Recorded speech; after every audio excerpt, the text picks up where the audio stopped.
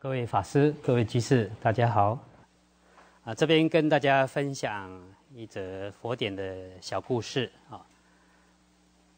在《大智度论》卷十二，《大正藏》二十五册一百四十五页中栏到下栏啊，那边有提到《佛说毒蛇喻经》啊，这部《毒蛇喻经》它其实是引自《杂含一一七二经》。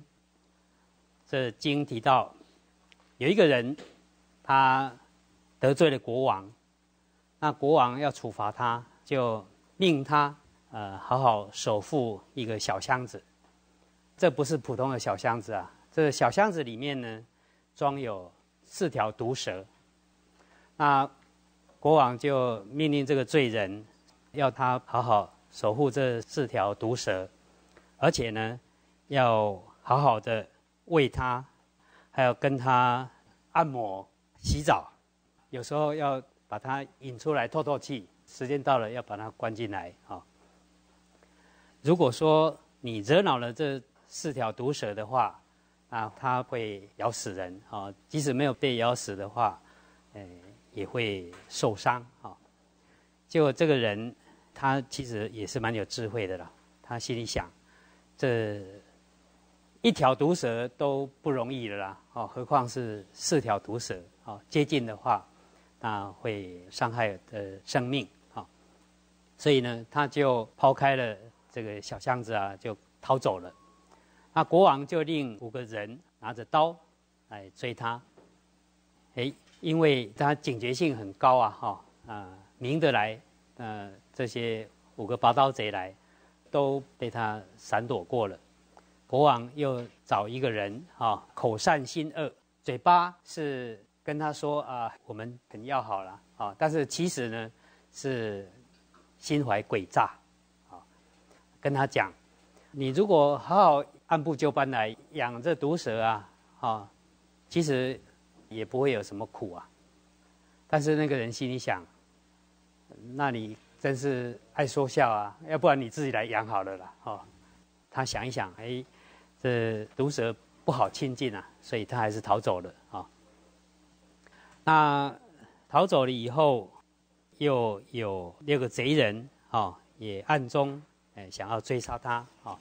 然后他就跑到一个空村，看到这个空村呢，非常腐朽败坏，啊，有很多不好的东西在啊。那稍微一摸，它就脆掉了。那有一个人就告诉他，这空村平常虽然空空荡荡的啦，但是经常会有盗贼出没啊。他一来的话，也会把你害死。哇，这个人他一听很紧张啊，有四条毒蛇，有五个拔刀贼，哦，又有这个心怀狡诈、外线亲善的贼，哦，还有空村的群贼，大家都在追杀他，好，所以他就赶快跑路。就逃逃逃，哎，看到有一条河，水非常湍急。他想一想，这此岸哦，有很多的危险部位。看到彼岸，哎，非常安稳、快乐、清凉无比。但是没有桥可以渡过啊，啊，所以他心里想，哎，那怎么办呢？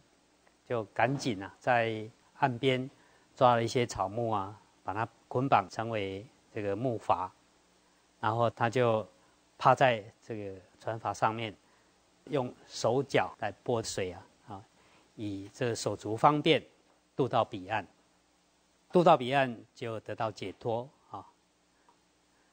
那佛说这个小箱子在譬喻什么呢？就譬喻人生，我们这个身呐，是四大跟四大所造色假合。好，这个身体我们经常给它喂食。好，帮他洗澡啦、按摩啦，种种让他享受。但是喂食他或者养护他，其实都是养这四条蛇了。那这毒蛇就是譬喻四大地水火风四大。那四大不调，人就会生病啦，或者会命中啊。那这五个拔刀贼，其实就是在譬喻五取运啊，众生呃执着五蕴。那六贼。哦，就是譬喻有六种喜爱啊，空村就譬喻六根。事实上，这空村照经讲，它因为很破旧了，你稍微一摸，它就会腐朽。所以，其实六根呢，也是无常虚位之法啊。空村会有盗贼出没，这个就譬喻外六尘，啊，有外在的六尘，色声香味触法啊。那么他看到有一条河，这个河流。就是譬喻我们的三爱，就是欲爱、色爱、无色爱，好，就是烦恼河。那此岸多恐怖，就是譬喻我们在世间轮回这个此岸。彼岸清凉，在譬喻无语涅盘。那所做这个法要渡河的这个法，就譬喻八正道。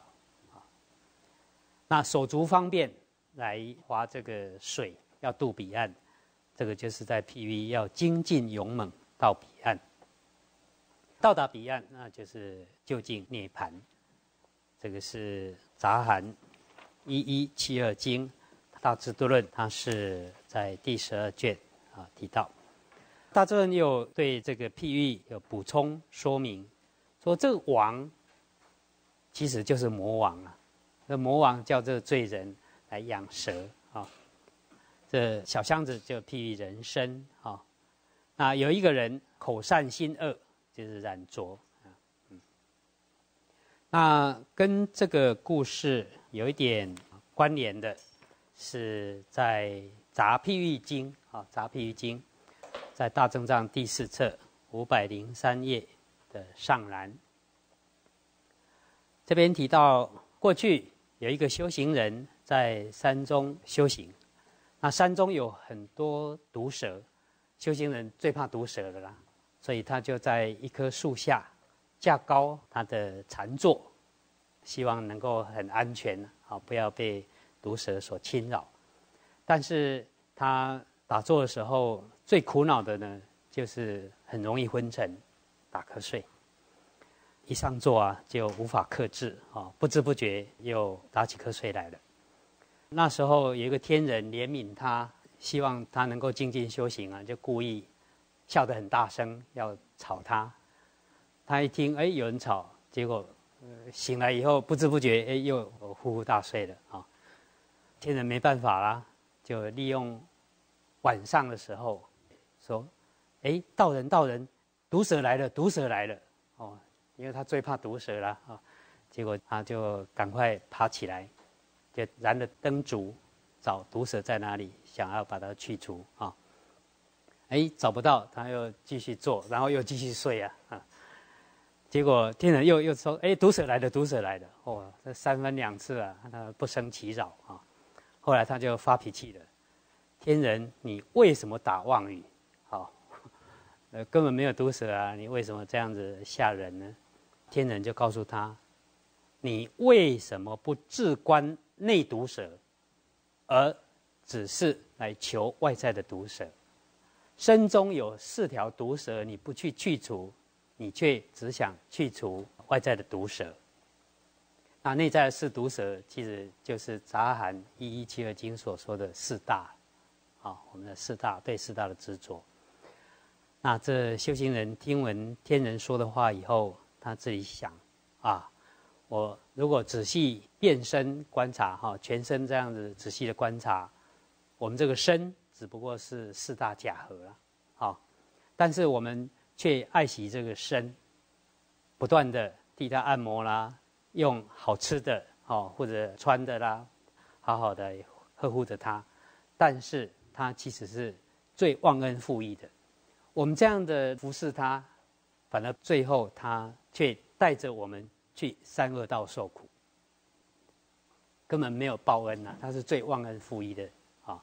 我们这样的照顾自己的身体，结果呢，都是在为这四条毒蛇，反而被这四条毒蛇所咬伤。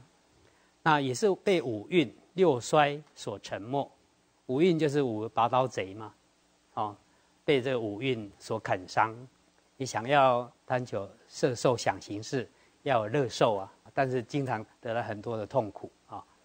六衰就是色声香味触法，想要贪求享乐，但是呢，这些六尘它其实都会衰损我们的善根，啊，所以叫六衰。